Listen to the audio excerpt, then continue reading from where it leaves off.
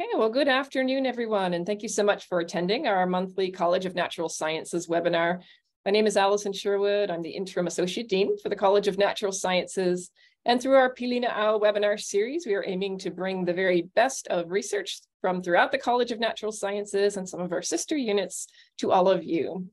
And today's presentation will feature Dr. Amy Moran, who is a professor from the School of Life Sciences in the College of Natural Sciences. Dr. Moran studies physiology and ecology of marine invertebrates. After completing her PhD at the University of Oregon, postdocs at the University of Washington and the University of Southern California, as well as several years on the faculty at Clemson University, she joined the faculty here at the University of Hawaii at Manoa in 2013. Dr. Moran teaches in the marine biology major, and she's also a scuba diver and a strange animal enthusiast. The stranger, the better. She has served as president of the American Academy of Underwater Sciences. She's a subject editor for the journals Invertebrate Biology and the Journal of Experimental Marine Biology and Ecology. And she has led six Antarctic research expeditions. Her current research investigates how warming oceans will affect marine organisms in Hawaii, in Antarctica, and in marine environments more generally. And so now I'd like to turn over our time to Dr. Moran for her talk, Fantastic Beasts and Frozen Oceans, Why a Cold Antarctic Matters. Welcome, Amy. Thanks, Allison. I'm gonna um, share my screen. Can everyone see that okay? Allison, can you see, is it visible? It looks great. Great, okay, thanks.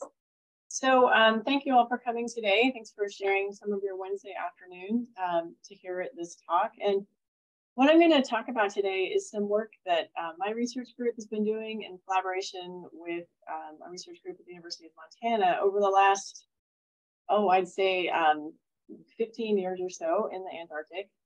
And um, the reason that I decided to talk about Antarctic research today rather than research in, that we do in other parts of the world is because I think this is a, a, region of the world that people generally don't know very much about. And also there's a lot of really great uh, stories to tell about the animals that live there. And then I will wrap up at the end of the talk with um, just a little sort of review of why having a cold Antarctica matters to our modern day world and keeping it as close to the way it, as it is now as, as possible. So Antarctica is a, um, a really unusual place, and I hope this video works all right for everyone. So Antarctica is on the bottom of the world from most global perspectives, and it's a place where there's year-round cold, um, ice and snow, and massive changes in photoperiod. It's very cold. The average temperature on the coast is about 14 degrees Fahrenheit, and inland um, about minus 71 Fahrenheit. So as we fly across the continent here, you can see that um, there's an ice sheet that forms around the continent every winter but that the main continent of Antarctica is covered by an ice sheet that is up to a mile thick in some places.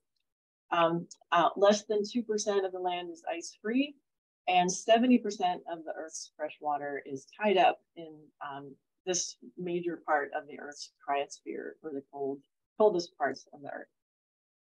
So this is what the um, inland looks like in the Antarctic, the main part of the Antarctic continent. This is the Antarctic Plateau and it's exceptionally cold, um, very dry, um, lots of UV stress in the summer, and you can just tell it's just not a great place to be an animal, right? In fact, there's very um, little life there and no multicellular life. So for a, a marine biologist, the center of the continent is not particularly interesting.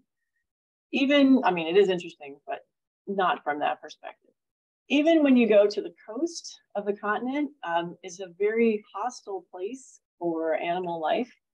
So this is one of our uh, field sites that we've worked at in the Antarctic, and this is actually a beach here, and this is the ocean. Um, and just for scale, those little black dots in there are the field camps. So the scale of this continent is just enormous. But you can see that even in the middle of the summer, when the climate is the most mild, you can't see any animals or plants on, on the land. And there are a few microscopic things, extremely tolerant, simple organisms, but it's really just not, not a good place to be a complex organism. The largest terrestrial animal in the Antarctic, or largest fully terrestrial animal is this one, um, uh, the Antarctic midge. And it, in fact, is only found in the um, warmest parts of the Antarctic, on the Antarctic Peninsula, which is sort of the tropics of the Antarctic. So for terrestrial biological perspective, there's not a lot of diversity. Now, for a marine biologist, the marine, the situation in the ocean is quite a bit different. And um, my group and I have worked at uh, this location, which is McMurdo Station, Antarctica. It's the largest station and the largest human establishment on the Antarctic continent. And it is right on the coast of the Southern Ocean, which is this big frozen region here. And the location of McMurdo Station is um, at the northern edge of the Ross Ice Shelf. So all directions are north on this map um, in the center. But it's the, the southernmost part of the ocean in the whole world where there's ever open water. So this is the coldest accessible ocean that anyone can really work in that's not under permanent ice shelves. This is the um, uh, uh, Antarctic Hawaii team that I've worked with um, at McMurdo Station. And um, three of my graduate students have been on trips down there with me, not all at the same time. So Caitlin here is photoshopped in, which is why she looks a little strange. But Caitlin Shishido, Graham Lobert, and Aaron Toe have all come with me as graduate students um, for multiple trips to the Antarctic and then we've worked uh, with a lot of other people from other organizations as well on these projects. So I want to thank all of these people um, just now for, for all of their help with this. Now, um, this is uh, a helicopter view of McMurdo Sound, which is the Southern Ocean right around McMurdo Station in the summer. And as you can see, most of the year, most years, this is completely frozen over and the water is under um, I'd say like three to nine feet of ice in most places. And that ice may break out seasonally or it may not, but ice really dominates the marine environment in this part of the world. Under that ice um, is a really interesting environment, which is unique in the ocean from a number of different perspectives. So there's ice everywhere because the air temperature is much colder than the water. So the water is constantly freezing. That means that the water is constantly at that equilibrium between ice and water, which is minus about minus two degrees for seawater. Um, there's ice everywhere. There's ice forming in the water. There's ice on the bottom. There's ice above you. And another unusual thing about this environment is that there are very high levels of oxygen relative to other parts of the ocean. So these factors pose a lot of challenges for the marine organisms that live there, um, but also some opportunities to evolve in ways that no other organisms have, which makes this a really fascinating place to work. When we think about um, Antarctic organisms, I think this is what we sort of tend to think about the most. Um, penguins, and these are really the, the um, uh, sort of typical Antarctic animal. And penguins and seals and whales, other things that we think about as being Antarctic, um, are endotherms. And that means that for an Antarctic endotherm, its main job is to stay warm, right? And to get enough food to stay warm and to keep its babies warm.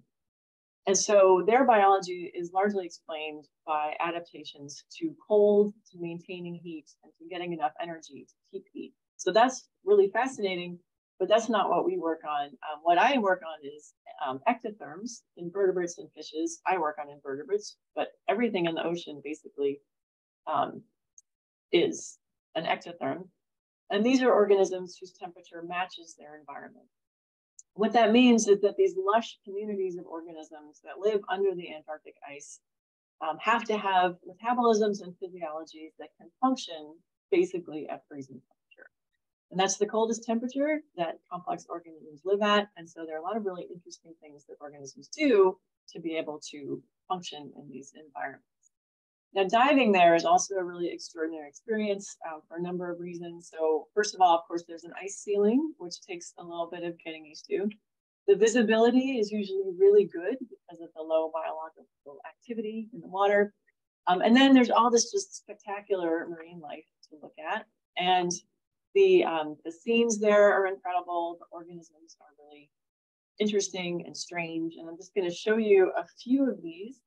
Um, some of the animals there are very similar to what you might expect to see here in Hawaii.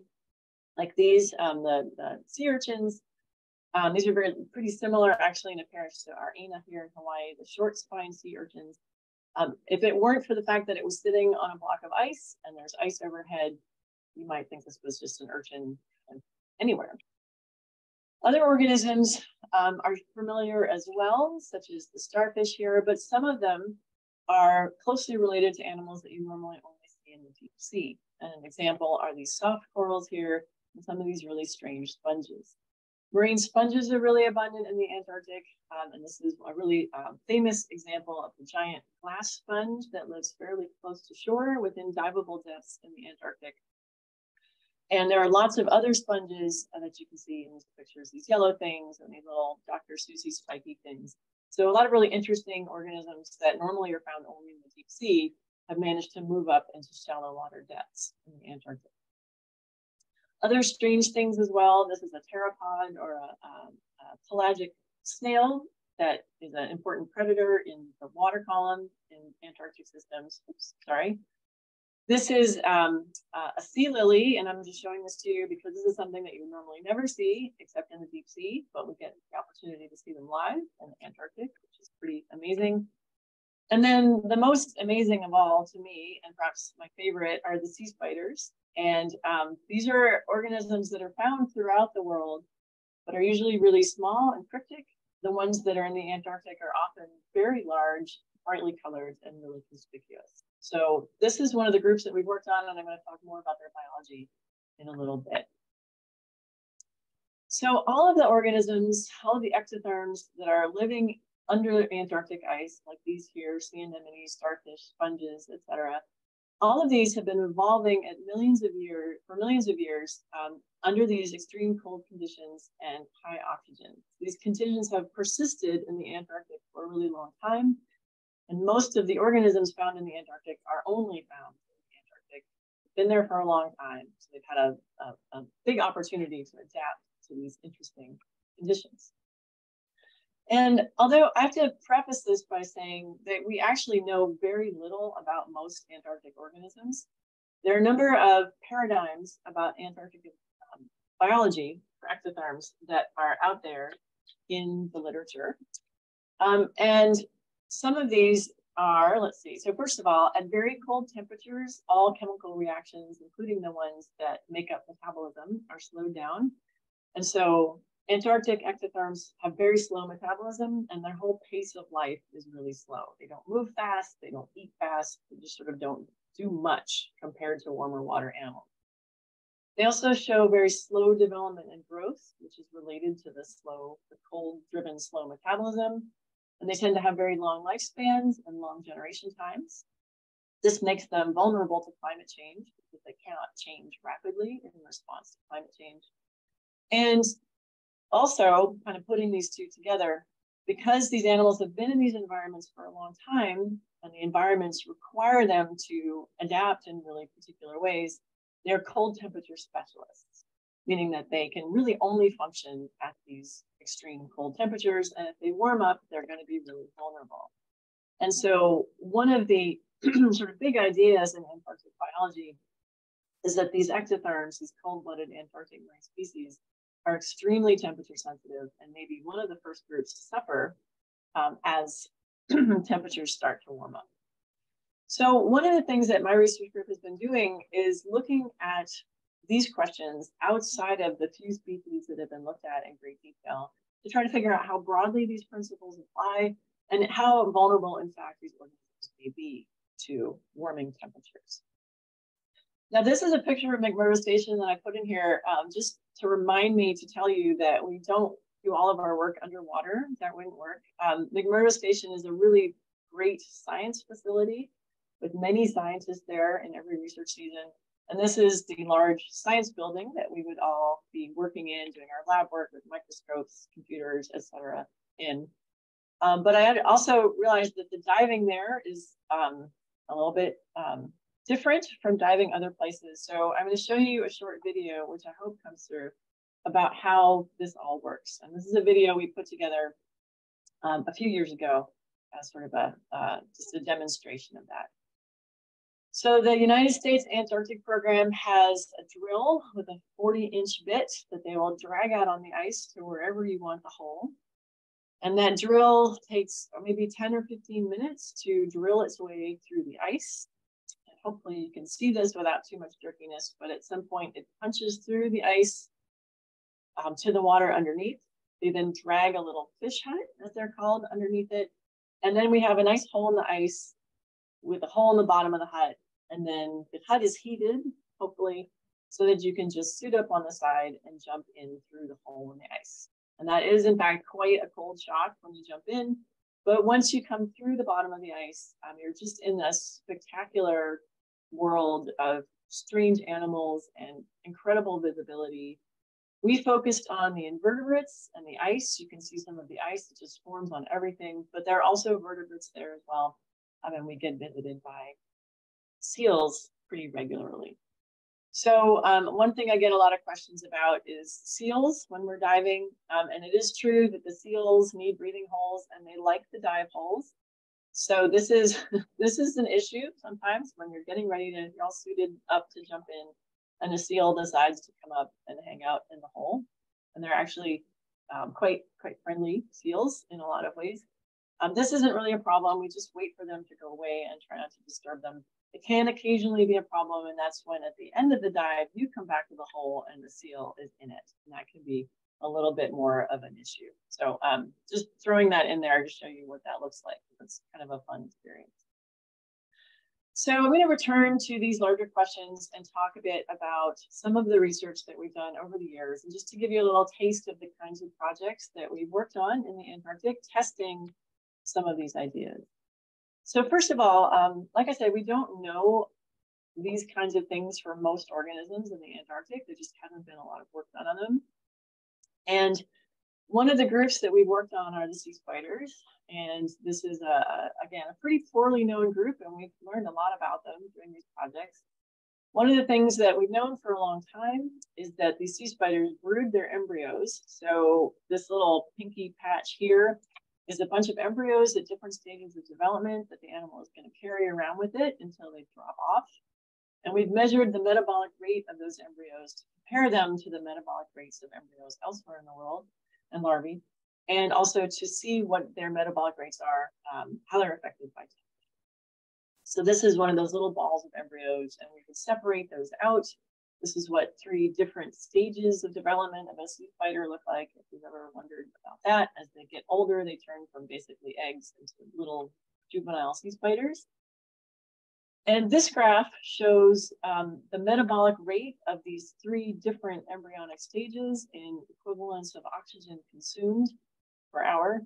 And what this graph shows is like not super important to understand, but temperature has a big effect. So these are warm temperature measurements, these are cold temperature measurements. Um, but what to a physiologist, if you were used to looking at these numbers, you would think, oh my gosh, that's an incredibly slow metabolic rate. And I realized that this these units, picomoles of oxygen per microgram per hour, are not immediately intuitive. So I put together as a slightly silly example. But if you take something that that's sort of more familiar to us, like a Skittle. Skittle has about four calories in it. Um, and four calories, if we consume four calories, we would use that as the metabolic substrate for oxygen, and that would last us about five minutes, I guess, maybe 10 minutes at our own metabolic rates of energy utilization if a sea spider embryo, one of the sea spider embryos ate a skittle, it would be able to live on it for about 50,000 years. That's how slow their metabolism is. And that's a very, um, very low rate of energy utilization. Um, another paradigm is slow development and growth. And we've had some really excellent opportunities to look at this over the years because we've made repeated trips to the Antarctic. And one of the things that we've done is to take embryos and larvae and newly laid embryos of different types of invertebrates, like a nudibranch, a snail, and this head shield slug here. We've got newly laid embryos. This is an egg mass of this nudibranch. We put them out in the field um, in natural conditions, natural temperatures, and just monitor them over time to see how long it takes them to hatch out as juveniles. For these three different species, that took a year. Um, for other species, it takes longer. So sea spiders take between two and three or maybe more years, at least for the ones that we looked at, which is a remarkably long amount of time to go from fertilized egg to a juvenile of a species. And the king of sort of long development in the Antarctic is this species, Antarctodomus thielei. This species, um, a long time ago, we found an egg mass, and we actually didn't know what it was. This isn't known for a lot of Antarctic species. So we use barcoding to identify which species it belonged to. And then we returned to this egg mass in the field year after year. And we found that they were hatching after eight years in the field. So this is actually the longest known developmental period of any animal. And it's attributable, I think, to the extreme cold temperatures that are in the environment that we, that we were working. Another example, this is not from our work, but these big glass sponges that I showed you a couple minutes ago are known as Methuselah sponges in the popular literature. And that's because a paper came out a few years ago that measured the growth rate of these over time and estimated that some of the really large feral glass sponges are up to 15,000 years old, making them perhaps the oldest animals that we know of. Um, more recent research has suggested that under the right conditions, they can grow a lot faster than that, but still, clearly these big animals in the Antarctic are really, really old. So examples of ice and cold specialists. So these are examples of organisms that are so highly specialized cold temperatures and ice formation that they will be the trade-offs that they've made in order to be able to do that may make them unable to live at warmer temperatures. And the best known examples of this, and the fact of Antarctic physiology generally, come from this group of fish. These are the notothenioid fishes. They're mostly endemic to the Southern Ocean. There are a few other cold species not in the Southern Ocean. In the Southern Ocean around Antarctica, they make up about 90% of the fish biomass. So they're almost all of the fish. And the best known ones, most of them are these kind of little scopa looking things, but the best known ones are um, the um, Antarctic and Patagonian toothfish, which are the Chilean sea bass. So there's a fishery for the really big ones.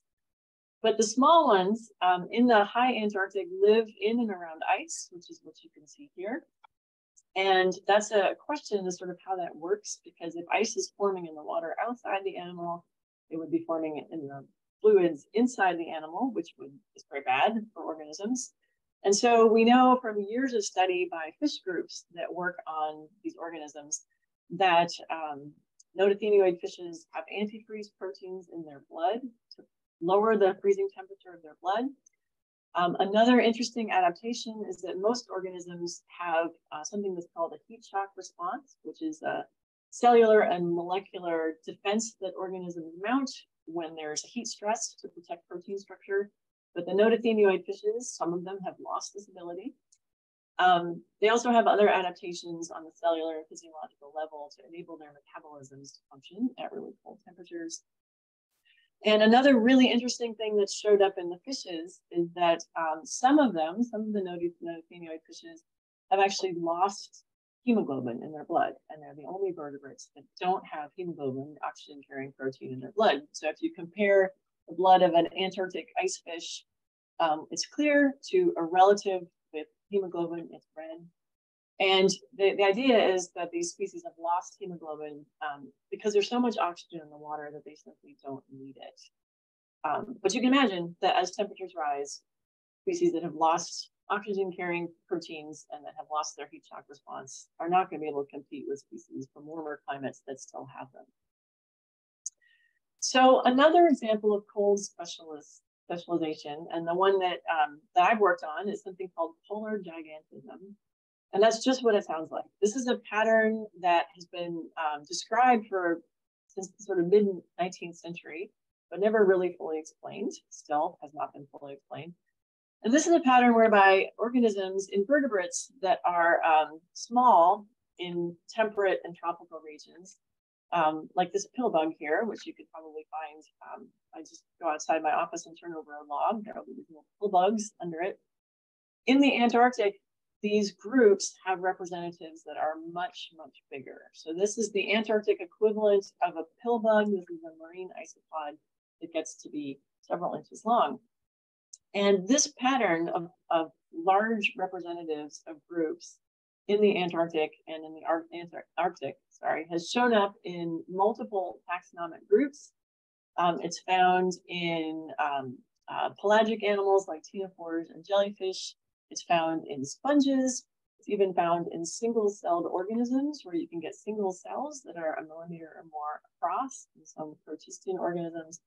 And of course, it's found in the sea spiders, which is the group that we've worked on.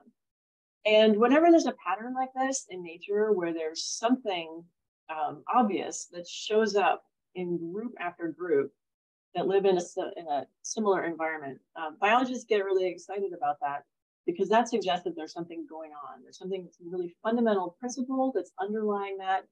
And maybe we can try to understand some of the laws, some of the rules of life, some of the things that govern things like body size in a, in a larger perspective. And yeah, so biologists don't have a lot of laws. Um, that's mostly physics, physicists um, and chemists. We kind of, evolution has done so many different things that we just get excited when there's really strong patterns like this.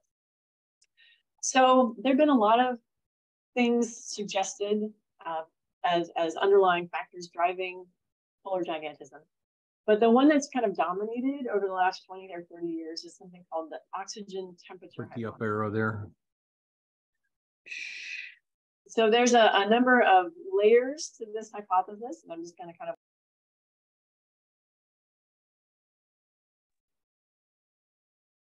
Okay, can you guys hear me? I just got a message I was muted. Can people still hear me? Interesting question. Yes. Yes, okay, thank you. Um, so the oxygen temperature hypothesis is a number of different layers. Excuse me.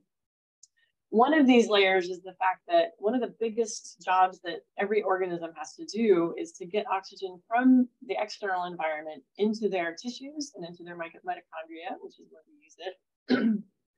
and the bigger an organism is, and the higher its metabolism, the bigger a job that is. And this pattern is really obvious in life through the evolution and the sort of incredible um, diversity of different ways that organisms evolve get oxygen and move it into their mitochondria. And these are things like gills and lungs and circulatory systems and red blood cells and tracheal systems and insects. Um, in fact, a lot of organismal design can be explained by this particular need. So the bigger an organism is, um, the bigger job that is, that's one of the layers here. Another layer is that at really cold temperatures for ectotherms, metabolism is forced to be slow because chemical reactions are slow. And so the organismal oxygen demand of ectotherms at cold temperatures is lower. They just don't need as much oxygen, um, largely because they can't use it because their metabolisms can't run that fast. So that's one part of it. In the Antarctic and in polar regions generally, the waters are very cold and in the Antarctic, they're very highly oxygenated. And what that sets up is a situation where Antarctic ectotherms are in um, uh, a, in a situation of a high ratio of oxygen supply to demand. They don't need very much oxygen, and there's lots of it around.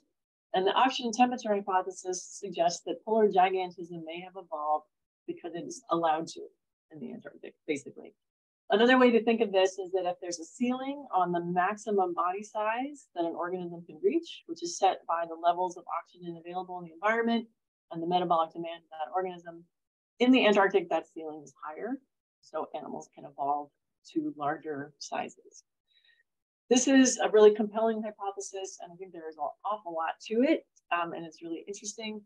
Um, and one of the, the implications of it, I think, is that, um, as pointed out many times, that if this is in fact what's going on, then polar giants are going to be perhaps the canaries in the coal mine of global warming in the Antarctic. So they're going to be the first ones that start experiencing constraints on performance as waters warm up. So that's the kind of basic hypothesis that we were interested in testing.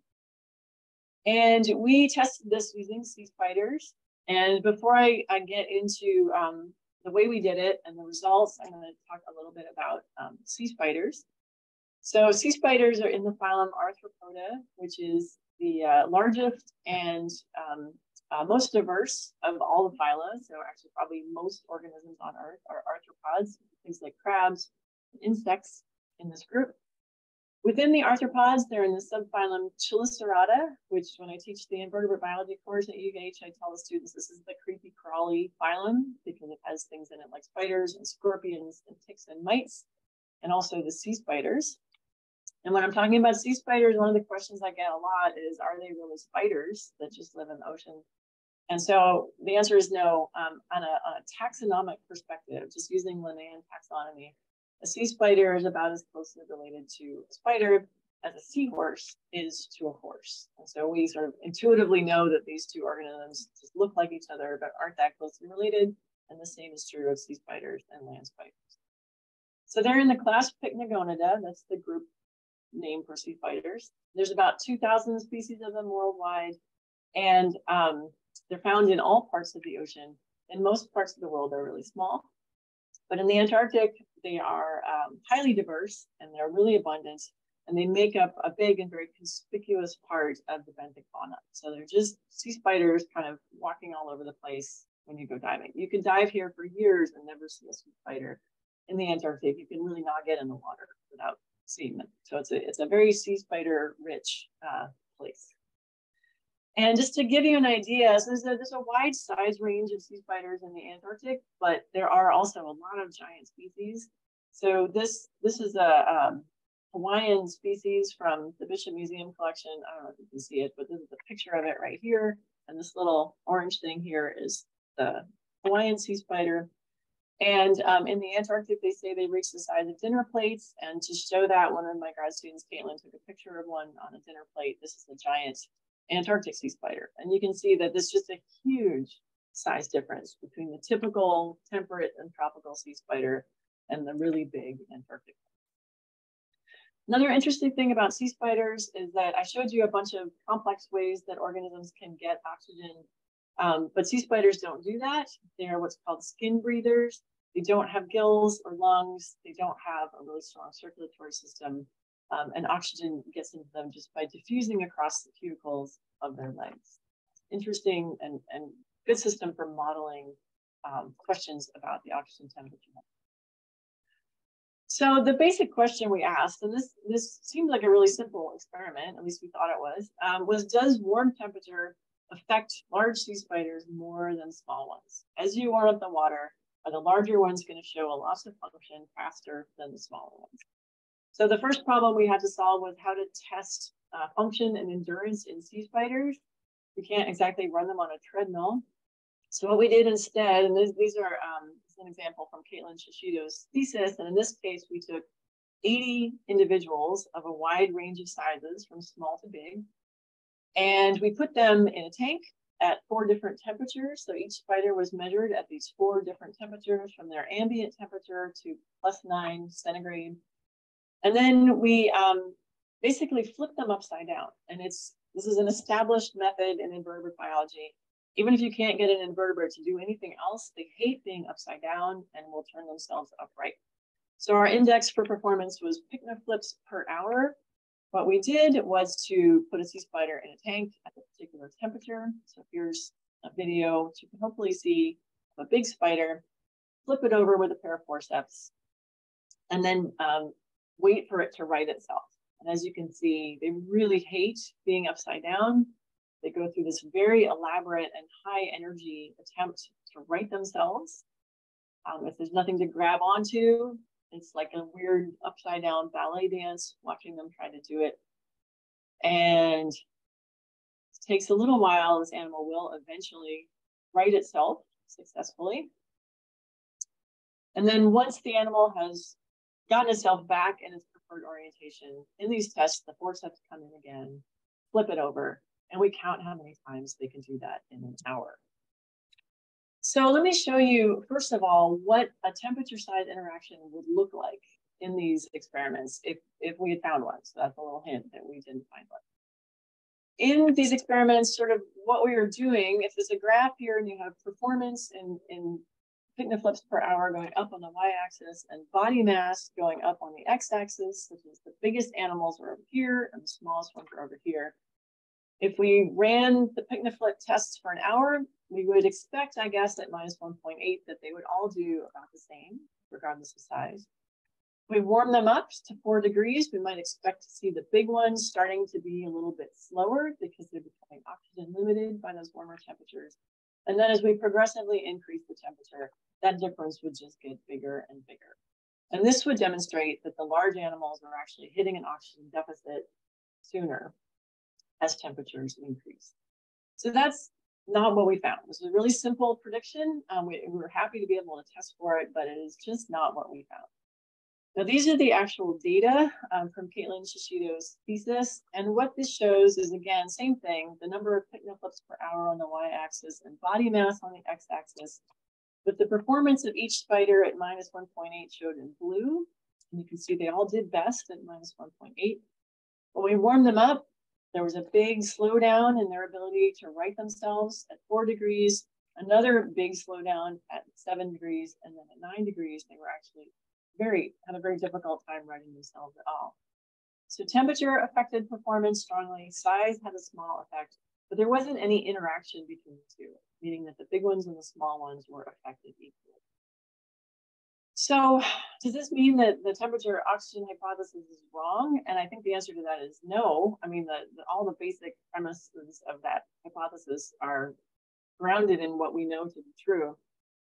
So I think what that means is that the larger animals actually have a much greater capacity to compensate for increased oxygen demand than we thought they did. So that becomes the next question is how do these larger animals compensate? And I'm gonna give you three quick examples of that. First of all, um, sea spiders are, are skin breathers, meaning that gas exchange occurs across the cuticle. So this is a cross section through a cuticle of a sea spider. And they do it either just through the cuticle if they're really small or through pores in the cuticle if they're really large. And one of the graduate students at the University of Montana on this project did a really nice modeling study showing that uh, for a piece of sea spider cuticle, um, actually all of the diffusive oxygen exchange happens through those pores. So the pores are basically where that's happening. And we were also able to show that as the animals get larger, the number and size of pores increases. So a small animal might just have a few pores in its cuticle, small ones. As you get bigger, you see a larger number of pores. And then the really largest animals, the giants, have cuticles that kind of look like Swiss cheese. They're just full of these pores.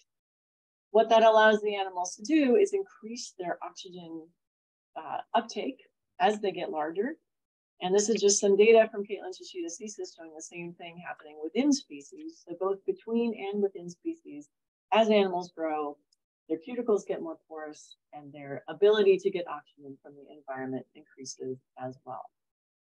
Now, another interesting little weird thing about sea spider biology is that they have wimpy little hearts. So the heart's here and you really can barely see it, but their guts, their, their digestive glands actually run all the way out through their legs and that's so they can digest food, even though they just have this tiny little body.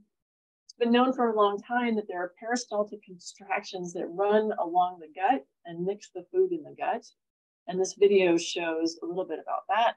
And I, I hope you can see the pulsing movements in the legs. Those are the peristaltic contractions of the gut extensions that go out into the legs. And uh, my longtime collaborator, Art Woods, did a bunch of measurements and modeling with Antarctic sea spider legs. And this is an Antarctic sea spider leg here showing the peristaltic contractions of the gut that runs through legs.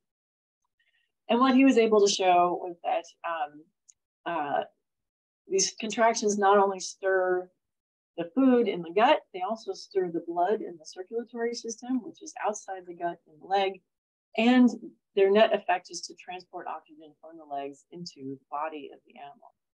Um, so this is the first example that, that we know of where the gut of an animal is actually used to circulate oxygen through the body. The other thing that was neat was that as you warm these animals up, their gut beat increases, sort of like your heartbeat would increase if you needed more oxygen. Now, one last weird thing I'm going to show you about sea spiders. Um, most, so they have this pair of legs, pair of appendages here, which in most sea spiders are used to carry the embryos. Um, but the very largest sea spiders don't use them for that. They don't carry their embryos on the ovigerous legs, as they're called. Instead, what they use them for is cleaning themselves. So this is a sea spider, a big one in the field, and you can see it's got the end of its leg kind of wrapped around its other leg there. And what they do is they slowly wipe those little brushes down the legs and it cleans off any little animals that might have landed on their um, on their legs, like barnacles that might want to grow, cleans off bacteria, etc. And presumably the reason they do this is because they need to use those legs as gas exchange for oxygen uptake. And if they were fouled with other organisms, they wouldn't be able to do that. Um, and this is just a neat little story. So in the field, you basically just see them standing there. They're moving so slowly that you can't see what they're doing. And Graham Lober, who's one of my grad students, did a time lapse of a sea spider that was uh, in one of our tanks at McMurdo Station. And you can see that this is a really an elaborate cleaning procedure. Um, they're constantly grooming to keep their cuticles clean. And this one, I sort of like watching this because I feel like you can tell that it's got some like gungy stuff on the on the tip of its leg there, and it's going to work its leg through that little cleaning loop until it gets it, toss it aside, and then just keep cleaning themselves. So they're like cats; they're constantly self grooming. This is something that we've only seen in the big ones, not in the small ones. So all of these behavioral physical and physiological changes allow the large animals to compensate for increased oxygen demand in really complex ways. Now, I want to point out one thing about science communication. Um, this paper in 2019 got a lot of publicity when it came out, which was really great. You know, I'd love to see sea spiders and Antarctica um, get publicity. But we were a little disturbed because some of the stories reported that what this study meant was that giant sea spiders may survive well in warming oceans, and this is how they're going to do it.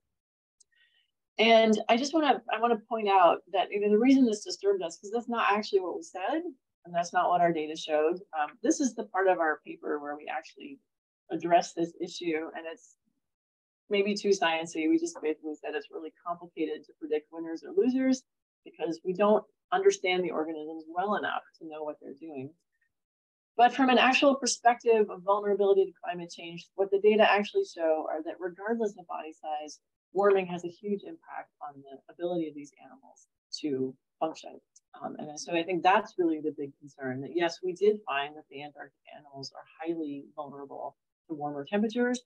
It's just that they all are, not just the big ones. So I'm going to end with just a, a few um, uh, comments about why a cold Antarctica matters. And I think part of it is just that this is the last great um, unexplored, little known, and pristine place on Earth. The Antarctic is probably the most pristine and least disturbed environment on Earth. Um, and so not only are there a lot of really beautiful and unique organisms that have evolved there, but it also sort of calls to the human spirit as um, uh, places where you can step where no one has ever walked really easily and see things that no one has ever seen. And that is really exciting and a really profound experience. But the Antarctic ecosystem is under a lot of different threats, which are, I'm just going to highlight a few of these in the next two slides. But one of these is warming. And as the Antarctic slowly warms up, that's going to have a lot of repercussions that are going to be felt everywhere. One of these is sea level rise. So this is from the latest IPCC synthesis report. Um, and what this graph shows is that there are three main contributors to uh, projected sea level rise, the Greenland ice sheet, the Antarctic ice sheet, glacier mass loss. And the Antarctic ice sheet is a really big component of that. So about three, about a third of projected sea level rise is due to loss of that Antarctic ice sheet projected loss of that Antarctic ice sheet. Um, so that is obviously a lot of concern to everyone. Another interesting thing is that as those ice sheets are lost and as freshwater runoff increases into the waters around um, Antarctica, it's going to have projected to have big effects on these benthic communities that I've been talking about. Um, and this is what sums that up here. Warming is going to increase iceberg scour, freshwater runoff, sedimentation, and a lot of other things. And those are going to have big impacts on these highly specialized benthic communities. And there are many reasons to be concerned about that, but one of them is that Antarctic, sorry, marine invertebrates and particularly sponges are a very rich source of bioactive compounds that have been used to develop human medicines and this is really sort of just started in the Antarctic. And this is an interesting paper that came out recently suggesting that um, the chemical ecology of the Antarctic is unique and may this may actually be a particularly great place for bioprospecting for human medicines. And this is one example that um, I'm really fond of because these sponges are pretty abundant at our dive sites um, and they really look like something that should be orbiting uh, another planet rather than under this, the sea ice. But sponges in this genus and this species are really rich sources of these secondary metabolites, and at least one of them is being explored as a promising treatment for Alzheimer's disease. So if we lose these communities and species before we've even had a chance to see what they have to offer us, we may lose a lot of potential um, for um, human health.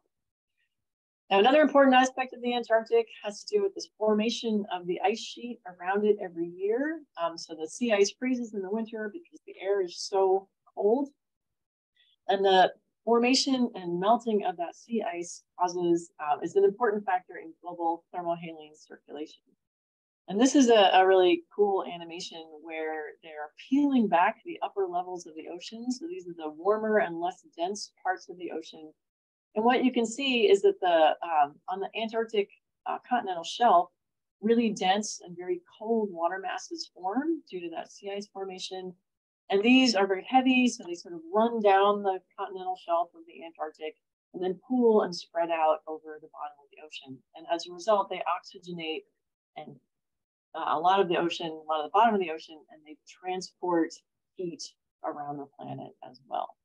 So as part of this process, um, the, the ocean overall has taken up about 90% of the excess heat that we put into the biosphere um, through greenhouse gases. And the Southern Ocean has been responsible for almost all of that uptake. So it is a really important buffer for um, climate change. Oops, sorry. And then one more thing that I'm going to bring up um, because this is sort of near and dear to all of our hearts here in Hawaii, and that's tourism. Antarctic tourism has been increasing tremendously since it first started uh, sort of in the 1990s. And we're just now beginning to understand the effects that tourism has on the Antarctic ecosystem. And of course, the more tourists there are, the more impacts there are. And so that is of increasing concern. And some of the things that we know have already happened are that there have been um, uh, bacteria disease bacteria transmitted from humans to penguins, probably through interactions like this. So um, pathogenic human bacteria have showed up in penguin feces, no doubt through this kind of transfer. And we just don't know what the impacts of those kinds of things are going to be like. And then there's just the increasing impacts from large numbers of people, increasingly large numbers of people things. The disturbance to animals, introduction of invasive species, all sorts of physical damage to the environment, and then the um, inevitable large and small oil spills from all the boat traffic bringing tourists to the Antarctic. And then, of course, the large carbon footprint of all that travel itself. So I don't know, I don't know what to do about that. Um, but fortunately, there are a lot of people working on it and thinking about it. Um, the Antarctic Treaty System is actually what oversees activities in the Antarctic. And this is a, uh, a group of 54 signatory nations that's advised by the Scientific Committee on Antarctic Research and also interfaces with things like the IPCC and United Nations Framework Convention on Climate Change. And then there's another group called the International Association of Antarctica Tour Operators, which are attempting to maintain tourism at some sort of functional level that people want while minimizing, while minimizing its impacts. So I think there are a lot of reasons for optimism, but there are also a lot of reasons for concern I just want to end with a quote from Barack Obama um, that we are the first generation to feel the effects of climate change and to see them, and the last generation who can do something about it. I think that the Antarctic is a, a really um, going to be a really interesting place over the next several decades because it is still relatively pristine right now, but we're going to see some very profound changes to the way things are today and that the organisms that are there. So I just want to uh, end by thanking the funding organizations and the university and um, uh, universities and federal agencies that have supported this. To all the people who very kindly have told me that I can use their photos whenever they want, whenever I want. Um, if it weren't for these photos, these talks would not be very interesting. And I'd like to thank you for listening, and I would be happy to take any questions. Thank you so much, Amy. That was really a wonderful talk. It's so interesting to see what goes on under the sea ice down in the Antarctic. It's really a fascinating place. We're going to open up our question period now. So if anyone would like to ask a question, please feel free to just unmute, unmute your microphone or you can enter something in the chat box and we will find it there.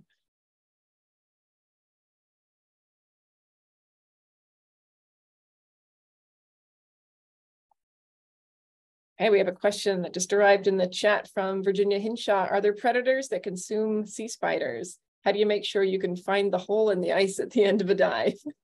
Oh, those are both great questions. Um, so the first one, uh, we don't know what eats the sea spiders. We've um, actually, in some of our first early experiments there, we tried to feed them to lots of different things and everything just spit them out. So we think they may be chemically defended or just not appealing for some reason. Um, the second question, how you find the hole on the way back, that's a great question. That the visibility is incredibly good. So pretty much you just never want to be where you can't see the hole to find your way back to it. But we also mark it with flags and strobes. So that makes it um, more confident that we can easily find our way back to it.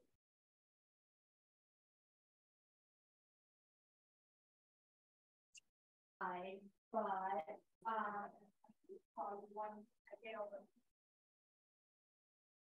Oh, so we can hear somebody talking, but it's very faint. All right, well, uh, go ahead, Rob. I see your hand is up. I read about these lakes that are under the ice on the actual continent. I just wondered if there's been any research on life in those lakes. There has been quite a bit. It's, it's not really my area, but I know they've drilled down into some of them to try to sample the water and see what kinds of communities are there. But that's been really controversial um, because as soon as you basically get a drill into the lake, you've contaminated it with drilling fuel and or whatever else is um, in your in your in your hole basically and so i think there's been a lot of concern about how to sample those communities without if they're there without um, damaging them. And other than that, yeah, I don't know much about it.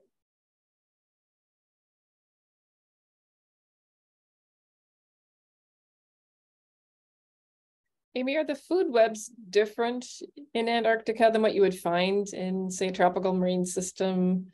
Um, I was just looking at the photos that you had early on. It looks very barren compared to what I would see on a tropical coral reef. You mean the, the marine food webs? Yeah. Mm-hmm. Yeah, I think there's some um, there's some pretty important differences. So at least where we were working, it's dark half the year and it's light half the year. So the, the food the food dynamics are driven by a huge pulse of productivity that happens once a year, and everything gets to eat, and then it doesn't eat, you know, for the rest of the year, and it's in the dark. So that's driven a lot of interesting um, sort of physiological. It's, it's going to be hard for organisms to make it all winter if it's not cold, for one thing, because their metabolic demand will be a lot higher. So that's kind of an interesting thing. The other um, the other thing that's really different about the Antarctic food web is that it's really short. So the krill are kind of the dominant organism that everything eats. And so even the very topmost predators, like the leopard seals, are consuming krill. And that means that there can be a pretty high biomass of large predators relative to other places. So yeah, there's some there's some fundamental differences, um, but a lot of the benthic invertebrate food web just haven't been very well studied. Great, thank you. Rob, your hand is up. Yeah, can you tell me why the oxygen content is so high in the water? Um, yeah, so of course part of it is that gases are more soluble at, in cold water than they are in warm water. Um, but that's not really what makes that uh, high ratio of oxygen supply to demand because even though there's a lot of oxygen in the seawater, its diffusion rate is relatively slow because it's so cold. So what really drives that ratio of high oxygen supply to demand is that the metabolic demand is really low, if that makes sense. Um, the other reason that the Antarctic waters are pretty highly oxygenated, I believe, is just because there's not very much metabolic drawdown of oxygen in the water. So I think that drives that as well. It's a related question from Daryl in the chat. What is the oxygen concentration in the water there? Um, so the oxygen saturation, oh, I, I have a graph I could show you. It ranges from about 82% um, saturation of air saturation in the winter when the sea ice is sort of covering everything up and there's no exchange and there's no photosynthesis to like 120%, so super saturated when the phytoplankton bloom rolls in. So there's a big annual variation in oxygen availability, but it's always pretty highly oxygenated. Very good. Uh, so there's a comment. Um, Maria was there in nineteen sixty-seven and again in twenty nineteen. Noticed, I guess, changes in the the penguin communities over that time span.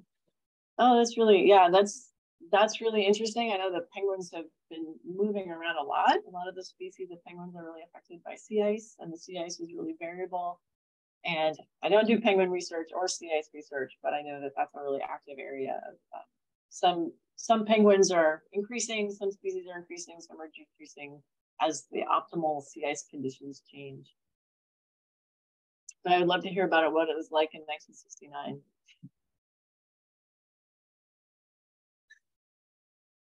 Very good. Okay, and then a question about krill. So if krill is the dominant food source, do you know much about its capacity for dealing with warming oceans?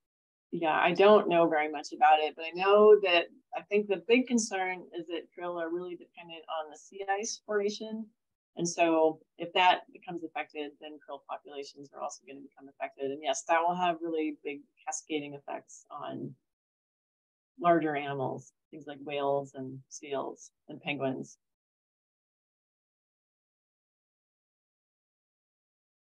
Very good. All right, and then uh, there's one final question again about oxygen saturation, if you happen to know the level in parts per million. It's a comprehensive exam, Amy. I don't have that right in my fingertips, unfortunately. I that you don't want uh, the partial pressure. Um, I don't know what it is in parts per million. But if you here, I'll put my email in the chat.